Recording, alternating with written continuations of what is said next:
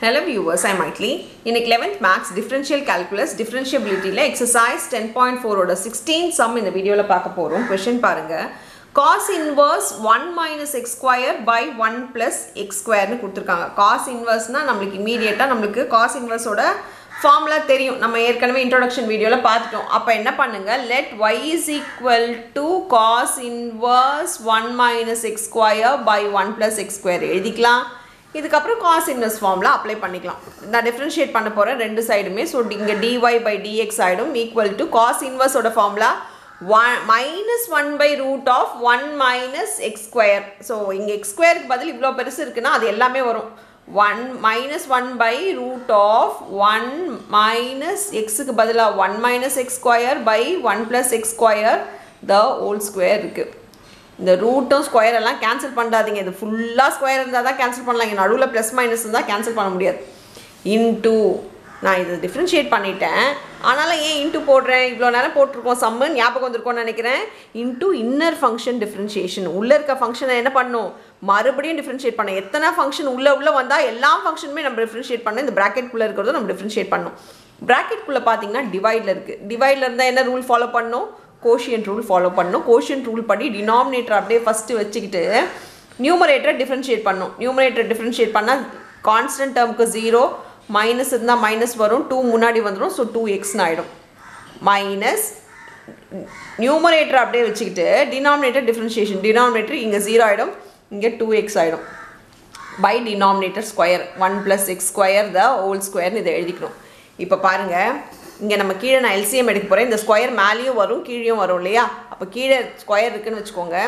இப்போ dy by dx is equal to minus one by இந்த கீழே ஸ்கொயர் இருக்குது இது ஸ்கொயர் நான் எல்சிஎம் எடுக்கிறேன்னா அது அப்படியே மேலே மல்டிப்ளை ஆகிடும் மேலே x plus square the whole square ஆகிடும் மைனஸ் இதுக்கு தனியாக ஸ்கொயர் போட்டோம்னா one minus x square the whole square ஆகிடும் பை இப்போ எல்சிஎம் எடுத்ததுனால இது one plus x square the whole ஸ்கொயர்னு இருக்குது இன்ட்டு இதை உள்ளே மல்டிப்ளை பண்ணிக்கிறேன்.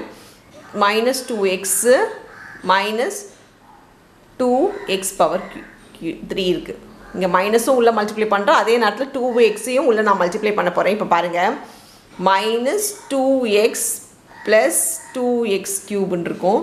By one plus x square the whole square இது என்ன ஆகிடும்னா ப்ளஸ் எக்ஸ் டூ எக்ஸ் க்யூபோ மைனஸ் டூ எக்ஸ் க்யூபோ நம்மளுக்கு இங்கே கேன்சல் ஆகிடும் இப்போ பேலன்ஸ் பார்த்தீங்கன்னா நியூமரேட்டரில் நான் நியூமரேட்டர் மல்டிப்ளை பண்ணேன்னா எனக்கு இங்கே மைனஸ் ஒன் இது அப்படியே இருக்கட்டும். பை இங்கே டினாமினேட்டர் பாருங்கள் ரூட் ஆஃப் நான் ஃபுல் ரூட் போடல. எனக்கு கீழே ரூட்டும் ஸ்கொயரும் கேன்சல் ஆகிடும் அப்போ நான் மேலே மட்டும் ரூட் போட்டுக்கிறேன். மேலே மட்டும் ரூட் போட்டு சால்வ் பண்ணுறேன் இது A plus B whole square ஃபார்முலாவில் இருக்குது அப்போது நம்ம ஃபார்முலா தான் அப்ளை பண்ணணும். இங்கே A minus B whole square ஃபார்முலாவில் இருக்குது இப்போ பாருங்கள் ஒன்று plus A square plus B ஸ்கொயர்னால் four ஆகிடும் ப்ளஸ் டூ ஏபின்னா டூ எக்ஸ் ஸ்கொயர் ஆகிடும் மைனஸ் இங்கே பார்த்தீங்கன்னா A square plus x power four minus two x square by கீழே டினாமினேட்டில் ரூட் போயிடும். ஒன் ப்ளஸ் எக்ஸ் ஸ்கொயர் ஆகிடும் ரூட்டும் ஸ்கொயரும் டினாமினேட்டரில் நான் கேன்சல் பண்ணிக்கிறேன். இன்ட்டு இங்கே பார்த்தீங்கன்னா minus four x by one plus x square the whole square இதுவும் டினாமினேட்டர் இது பார்த்தீங்கன்னா இது ரெண்டுமே டினாமினேட்டர் இருக்குது அப்போ ஒரு ஃபோர் ஒன் எக்ஸ் ஸ்கொயரும் ஒரு ஒன் எக்ஸ் ஸ்கொயரும் நம்மளுக்கு கேன்சல் ஆகிடும் இப்போ இது உள்ள உள்ளே சால்வ் பண்ணிக்கோங்க. Dy by dx is equal to minus 1 by root of நான் மைனஸ் சைனை உள்ளே கொண்டு போயிடுறேன். உள்ளே கொண்டு போனால் one plus x power four plus two square minus minus one minus x power four plus two x cube sorry two இது பார்த்தீங்கன்னா இந்த ப்ளஸ்ஸு மைனஸ் எல்லாம் கேன்சல் ஆகிட்டு இது வந்து ஃபோர் எக்ஸ் ஸ்கொயர்னு இருக்குது ஃபோர் எக்ஸ் ஸ்கொயருக்கு நம்ம ரூட் எடுத்தால் டூ எக்ஸ்னு ஆகிடும் into minus four x by one plus x ஸ்கொயர்னு இருக்குது இங்கே என்ன இருக்கும்னா minus one by root of four x square சரி ஒரு ஸ்டெப் உங்களுக்காக போடுறேன். ஃபோர் எக்ஸ் ஸ்கொயர்னு இருக்கும். Into minus four x by one plus x square இருக்கும்.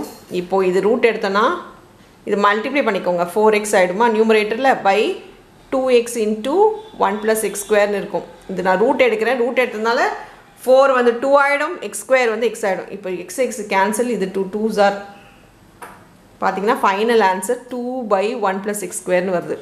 உங்களுக்கு நான் இது நிறைய ஸ்டெப் மாதிரி போட்டிருக்கேன். ஏன்னா உங்களுக்கு ஸ்டெப் பை ஸ்டெப் தெரியணுன்றதுக்காக நீங்கள் இவ்வளோ ஸ்டெப் போடணுன்ற அவசியம் இல்லை.